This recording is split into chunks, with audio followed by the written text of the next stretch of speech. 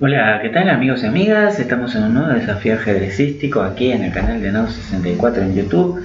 Les voy a presentar una posición que surgió allá en el año 1969 en la ciudad de Alma-Ata, en la URSS, en el 36 campeonato de ese país. Y las blancas las conocía Sájarov y de negra Cherespokov. Bueno, espero que pongan pausa, traten de solucionarlo y bueno, mucha suerte. Espero que, hayan analizado la posición, a ver cómo remataban el juego con las blancas. Y bueno, hay una pequeña combinación que es primero de extracción al rey, alfil por h7. Aquellos que ya se, hayan detenido y hayan analizado torre por d6, también puede ser que surjan transposiciones e inclusive torre de 6 hasta puedan demostrarse que es mejor. Pero con alfil h7, que fue lo que jugó en la partida, es mucho más que suficiente. Por eso solo voy a mostrar una variante y los dejo a ustedes que, bueno, después analicen torre por d6 y puedan descubrir algún otro que remate. Bueno, después del alfil por h7, la negra está prácticamente obligada, porque obviamente contra rey h8, si no eh, aceptan el presente, viene torre h4, con lo cual se amenaza un descubierto con alfil g6, como ustedes mismos podrán corroborar, ¿verdad?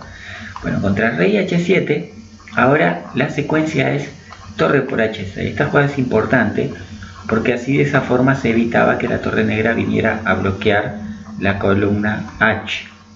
Entonces, ahora las negras están totalmente perdidas. Es más, este, en la siguiente jugada ya abandonan porque si no capturan la torre ya quedan con una desventaja material muy fuerte y su rey no está nada salvo. Más allá de que las negras tienen algún peón de este lado del flanco dama, no es suficiente como para para poder apostar a, lograr un contrajuego. Entonces, les quiero mostrar que después de alfil por d6, la secuencia es torre h6, el rey tiene dos, jugadas, que es ir a g6 o a g8.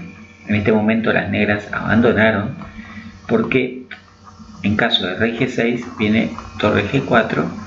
Acuérdense que acá hay un alfil en a1 que es muy fuerte en esta diagonal. El rey tiene que escaparse hacia h7. Si va a h5, hay un mate acá con dama g5.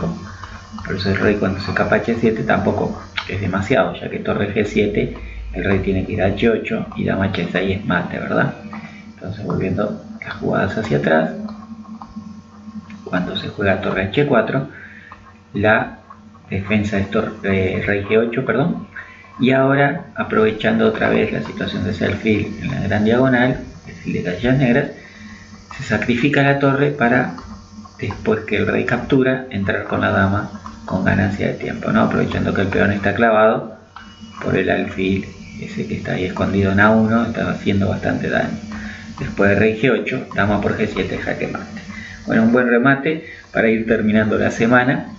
Ya la semana que viene arrancamos el mes de octubre. Así que bueno, espero que les haya gustado. Aquellos que quieran pueden compartir el video con, con sus amigos en las redes sociales, darle un like y por supuesto suscribirse, que eso siempre es bueno, ¿verdad? Muchas gracias también por los comentarios que siempre dejan en la cajita. Así que bueno, siempre estoy abierto a sugerencias y demás. Espero que nos veamos la semana que viene. Que pasen bien, ¿eh? Chau, chau.